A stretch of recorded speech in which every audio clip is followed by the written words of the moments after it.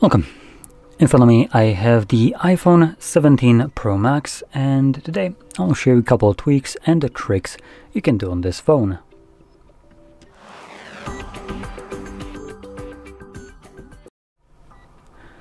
So let's get started by opening up our settings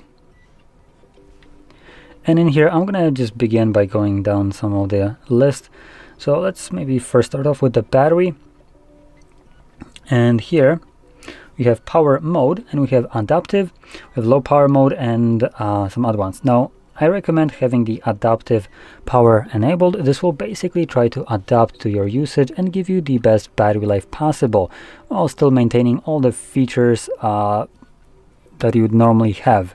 Because as an example when you would enable things like low power mode the device would then disconnect from Wi-Fi and mobile data when you're not using the device to preserve battery life.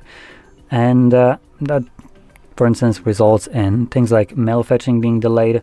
So obviously it has some unwanted effects, but with the adaptive power, uh, this will give you a bit more versatility as it would only disconnect from it when it knows that you don't need it. Maybe you're going to sleep, the device can learn that you don't use your device at, at that point. So obviously it can disconnect from this and nothing will be missed. Now moving back, we have another thing, action button. So instead of a switch, now we have a button that has a little bit more versatility as a button. Uh, so going over this, we have things like silent mode, we have focus, uh, flashlight, Shazam, controls, uh, shortcuts, accessibility, and no action. I want to kind of point that out. Why the shit does Apple make it so hard to see all the other options that, that actually give you options? Because controls and, for instance, shortcuts, these are very versatile buttons, but for some stupid reason, they're grayed out so you can so you actually could miss them if your brightness on the display is a little bit lower so like I now barely can see that there is something here. I can barely see this faint icon right here, uh, but I, I basically cannot see this option right here.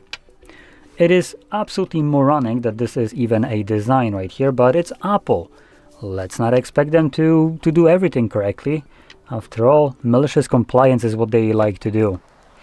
Anyway, so one of the nice options here, which is barely visible, is the shortcuts. When you select it, you can assign that the button will open up either applications or do some action. As an example, uh, we can, for instance, not select books right here because they're not here. So let's go to uh, recently played. So now when you hold it, it will give you the recently played. Now I don't have anything set up, so it gives me absolutely F all, but uh, you get the idea of the button.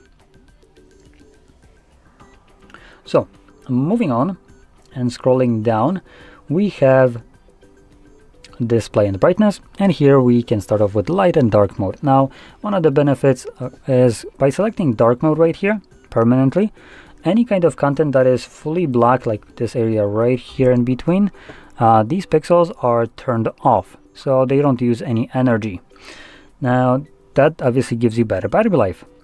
Now right here on camera this might look a little bit gray, but that's because I have a matte tempered glass. So that's one thing.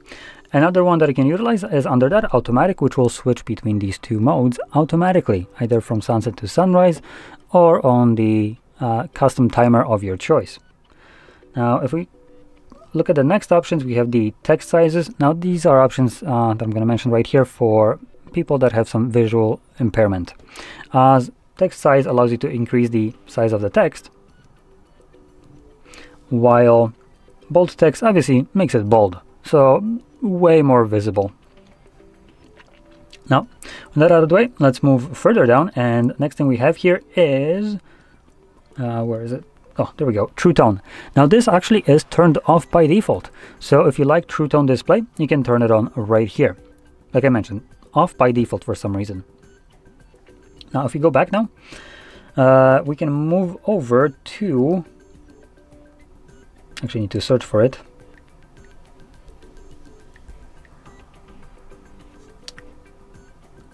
I don't remember if this was right here or not, but we're gonna quickly check. Okay, so it wasn't here. I think I know where it was. Let me just check.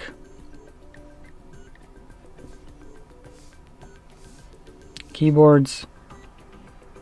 Sounds. There we go. So uh, if you search for keyboards, in here you'll find an option called haptic feedback. For some reason, this is disabled by default. And what it does is when you start typing now, it now will give you a haptic feedback to your to your types. Now it takes us sometimes like a reboot or leave this mode. No, there we go. Now I have haptic feedback. So yeah, you can enable it right here and makes typing so much nicer in terms of feel. It gives you like a tactile sense that when you press something, you get like a, you know, a click basically under your finger. So obviously makes it much, much better. And for some reason, this, this is disabled by default. So I'd recommend turning it on. Now moving on, uh, let's now go to customization of our home screen. So we're going to hold our finger on the empty space and then click on the edit and select customize. Now in here we can customize the icons. So we have default, dark, clear and tainted. Now tainted are basically clear but allows you to choose specific color unlike the clear which gives you light or dark. So use the slider, pick one that you like it's kind of I'm gonna keep it like this so there we go uh, you can also pick it from a wallpaper. Let's try that again. Like dark there we go. So I picked it from this point of wallpaper. So it automatically adjusted to to whatever you picked. Now we also have kind of like a flip. So the background is dark and then the color that you pick is the color of like the uh, image of an icon itself and there we go light so this kind of uh, this will change depending on if you're using light or dark mode so it's basically what it is or you can just permanently pick it anyway um, uh, well you know I'll change it to there we go clear dark and one more thing in there, which I just mistakenly closed, that you can do is, right here you can see this box. This allows you to increase the size of the icons, but by doing so you also get rid of the text under it. If you rely on the text, uh, maybe that's not the option for you. Now, going back to the editing right here, edit, you also have some additional thing like adding a widget. So you can add any kind of widget from here to your home screen, assuming you have enough space for it, obviously. And you can also resize the existing widgets. Maybe not these ones, apparently. Let's try it maybe right here, edit, add widget.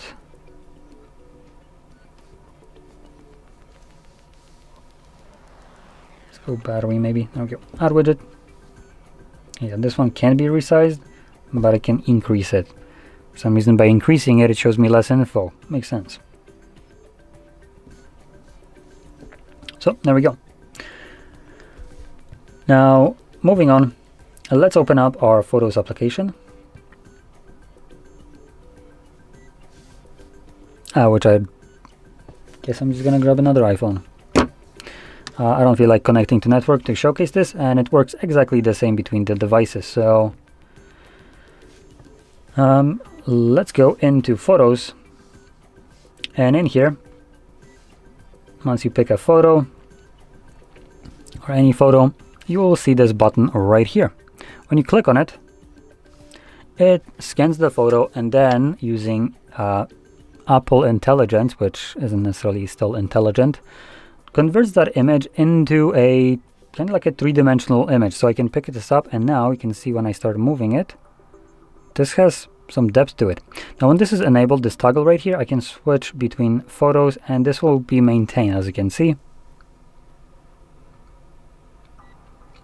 And it does have a pretty nice and convincing effect. So let's see if I zoom it in. You can see, it works really well. And uh, anyway, it works super well, but I will mention there is a bit of a wonkiness to this. So let's pick, um, this is a great kind of example. So what I'm going to do is I'm going to shift it to a certain side and I'm going to capture a screenshot so you can see what I'm going to be talking about. So whoop, there we go. And save it. Go. What the, come on, just let me, there we go. So here's my screenshot. So I zoom in specifically, for instance, right here. Uh, this window you can see has these kind of like bars right here. Now because I shifted, typically the statue is covering this portion of a window.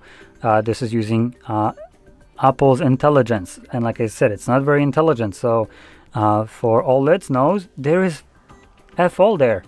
Uh, and it completely fails to recognize this as a window and fails to see the structure of the remaining of it. So it doesn't give you this bar and just kind of makes it a smudgy blur right here. It doesn't look good. Same thing goes if we scroll down right here. So here we have plants. Now if I zoom out, this will be a little bit more apparent. Uh, so plants right here, you can clearly see that this is a plant. And it stops being a plant right here with a defining line. This is also where this uh, statue is covering it when, when you don't shift it. And you can see what it does is basically takes whatever color was in this and just kind of goes whoop, smudge, uh, so it gives you the color of it, but not really the the detail that should have been there. Supposed to generatively fill this area, but it doesn't really do that too well. So in certain wallpapers or pictures that you're going to pick for this, if you want to uh, play around with this, this effect will look better or worse, depending on what the background is. And also uh, what the, mm, the subject is. So as an example here, this statue is an actually a really good a good showcase of how well this works. So going back here. So this this showcase showcases this really well how how good this works. If I zoom in, you can see this really well, and this looks sharp, looks great. Uh, if you don't pay attention behind, obviously.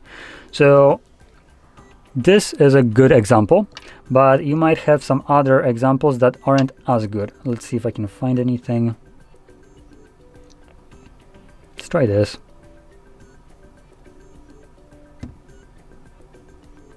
This looks okay.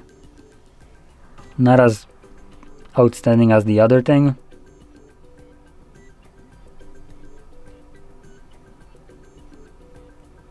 This is okay.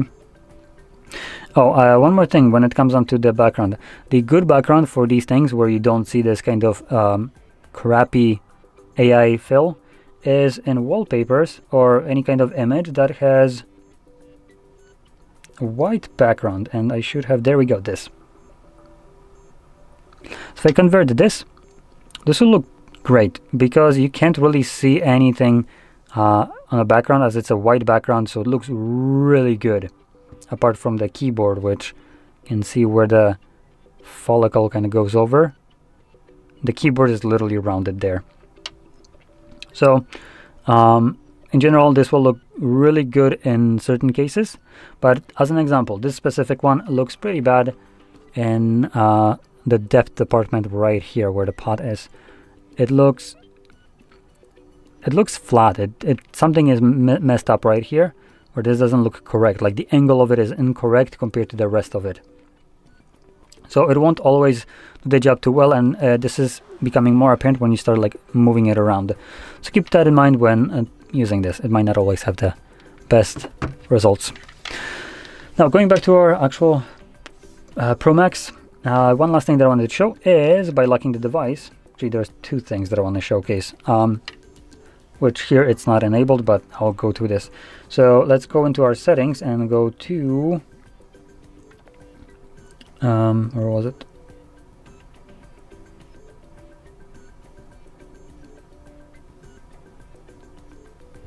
All right. Display and brightness. And here we're looking for always on display. Wait. Oh, it is enabled. Never mind. I'm just blind. So always on display uh, is enabled by default on these devices and it's enabled with wallpaper.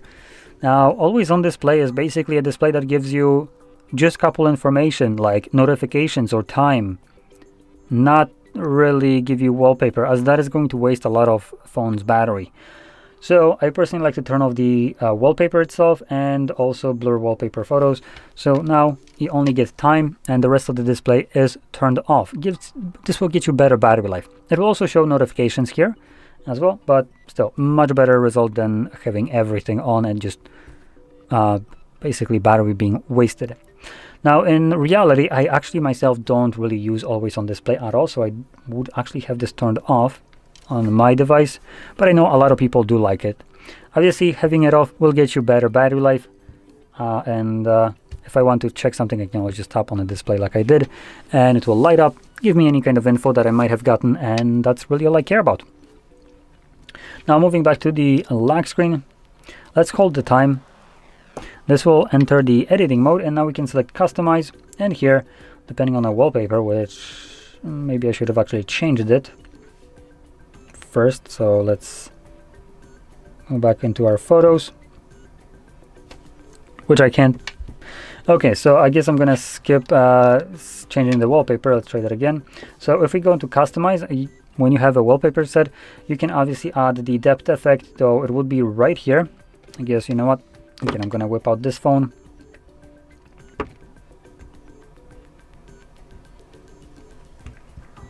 There we go. And when we go to customize, in here, you can see we have these two buttons when you have a wallpaper set, unlike right here. And you can obviously turn off the depth effect, or you can turn it on. So now when you move it, it will, you can see, start to shift. You can also click on the three dots and have the uh, depth effect added. So now you can see sometimes when I uh, minimize it, the ears go over the time. So this is the depth effect but because it, right now it's covering too much of it I can do that. So we can also extend the wallpaper. It's going to generate a little fill part of the wallpaper. And now you can zoom it in. And I can have that covering the uh, clock. You can also add widgets right here. So you can have some widgets resize the time itself and also change these buttons right here. So we, by default we have the uh, camera and the flashlight, but I can change them to other ones. Now, if we now select done, can see that okay we have a little bit of wonkiness happening here again with the generated fill. So it didn't cut the, this correctly so you can see the ear right here is uh, thinking that it's kind of uh, rounded right here so you can see it's not doing it too well. And also when moving it around, this is not a great wallpaper as it doesn't really give you that depth effect right here. So you can still see it partially, but it's not as good as, like I said, some other wallpapers.